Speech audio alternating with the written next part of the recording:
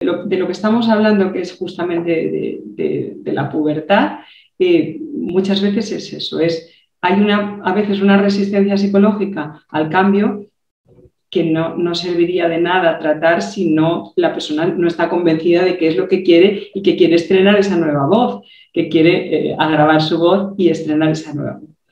También tenemos lo contrario, ¿eh? algunas veces mujeres que tienen una voz excesivamente grave y que lo que quieren es eh, elevar un poquito la frecuencia, el tono, porque sienten que se les percibe como muy masculinas o como demasiado autoritarias. No suele ser eh, lo más frecuente, pero, pero sí. A veces es lo contrario, ¿no? Eh, la, mujer que tiene una voz demasiado fina o demasiado de pito, eh, hoy día culturalmente no está bien visto, entre comillas.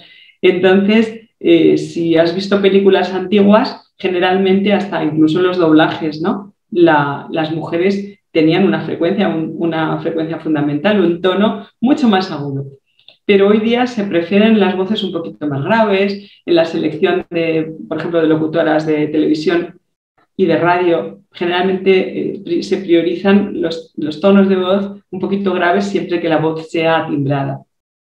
Entonces, generalmente lo que tenemos es demandas de mujeres que quieren también agravar un poquito su tono de voz porque se encuentran muy chillonas.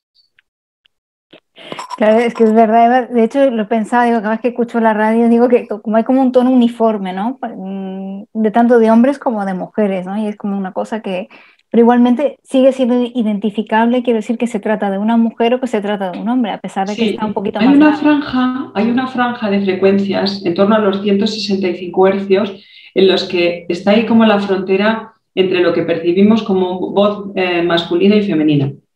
Entonces, eh, ese, punto de los 165 hercios, eh, de alguna manera, nos hace identificar o percibir más la voz masculina de esos 165 hacia abajo, o sea, las voces más graves de 165 claramente las percibimos como de hombre y las voces por encima de los 180, 185 hercios son femeninas.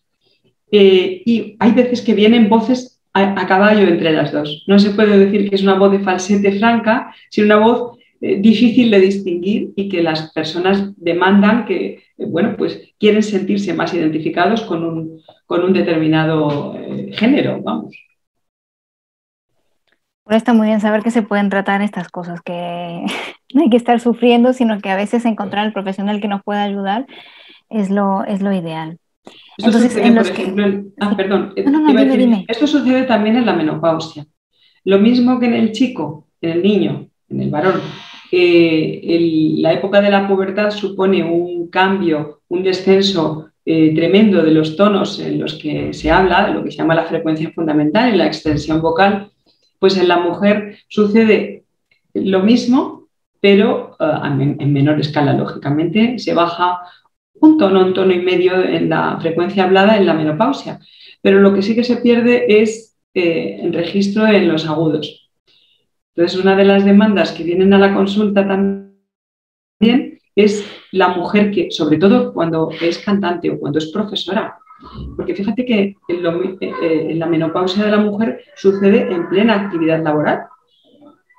Es decir, estamos hablando de 50 años, 52 años, cuando todavía quedan unos cuantos para la jubilación. Quedan más de 10 años para la jubilación, de manera que a la persona que es cantante o es actriz o es eh, profesora o es eh, abogada o es una persona que utiliza su voz profesionalmente, pues este, este cambio le, le ocurre en plena actividad laboral.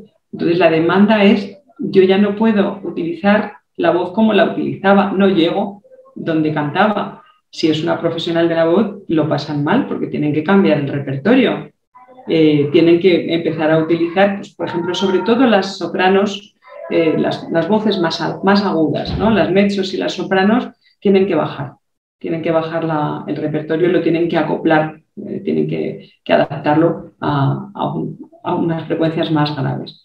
Y en el caso de, de profesoras, pues lo que notan es que pierden eh, también extensión vocal, que se nota mucho al proyectar la voz. Cuando tú tienes que hablar en voz alta en un aula, pues no solamente aumentas el volumen, sino aumentas también el tono. para proyectar la voz no, no utilizas un volumen mayor en el mismo tono, sino que subes 6, 7 u 8 tonos. Y sobre todo si es una aula grande o tienes que cantar, pues, eh, y eso lo notan mucho. Cuando se acerca la menopausia, eh, las hormonas hacen estragos. Entonces, bueno, empiezan a, se empieza a reducir la, el aporte de, estrógenos y las cuerdas vocales lo notan.